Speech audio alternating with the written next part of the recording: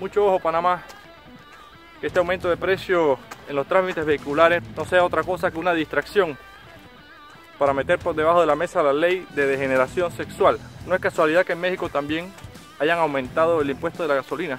Números exorbitantes. Está la gente en la calle, hay un caos total.